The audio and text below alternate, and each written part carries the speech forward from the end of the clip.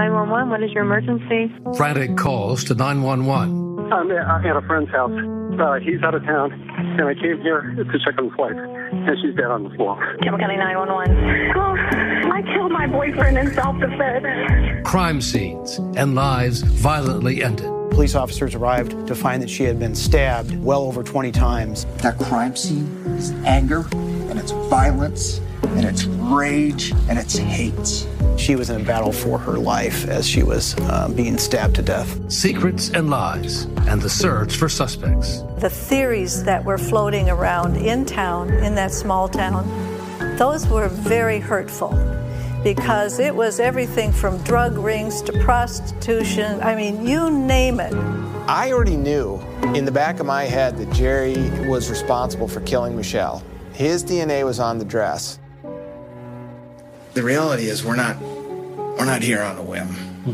We're here to confirm what we already know. He, he actually agreed to to uh, be interviewed for, for quite some time. I was on pins and needles as I was listening uh, to the interview take place. Did you murder someone that night, Jerry?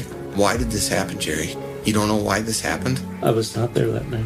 Well, we know better than that, Jerry. You know better than that. You know I'm not lying. Your your wife, she's being arrested this evening and charged with murder. What?